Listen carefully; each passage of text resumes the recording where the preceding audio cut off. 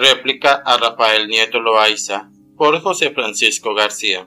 Primero el obligatorio disclaimer.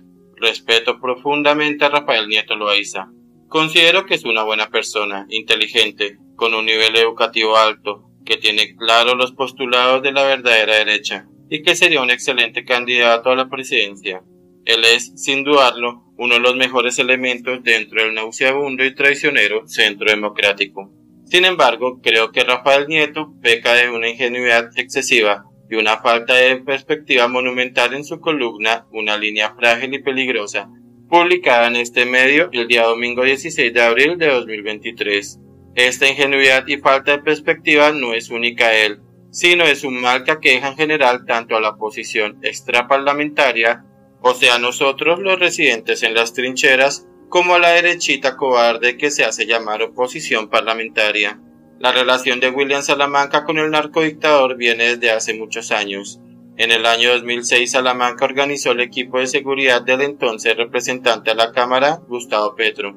Cuando Petro fue alcalde de la capital, condecoró a Salamanca con la Orden Civil al Mérito, ciudad de Bogotá, en el grado de gran oficial. En el momento en que el narcodictador dio su éxito golpe de Estado, nombró a Salamanca en el equipo de Empalme, lo que dio lugar a mucha especulación sobre su futuro como ministro de Defensa.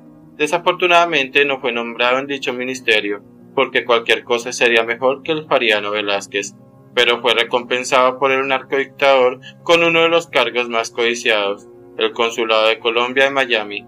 Y ahora, después de la purga casi stalinista dentro de la Policía Nacional, Petro lo ha sacado a Salamanca del Sol de la Florida para que sea el nuevo director de dicha institución. Mi abuela materna, mujer inteligente y de principios inquebrantables, decía que no se puede servir a Dios y al diablo al mismo tiempo. Gustavo Petro es un guerrillero y un comunista que llegó al poder usando medios anticonstitucionales, como lo fue el fraude electoral masivo y sistemático, financiado por los grandes carteles armados de la droga como lo son el ELN y las FARC una vez en el poder el narcoguerrillero comunista se convirtió en el narcodictador comunista, dedicándose a acabar con nuestro país ladrillo a ladrillo, día a día. Servir a dicho personaje, tener una amistad personal o ser cercano a él por oportunismo o pragmaticismo solo muestra serias fallas en el carácter, amoralidad, ambición, codicia e incluso puede confirmar una afinidad o cercanía ideológica.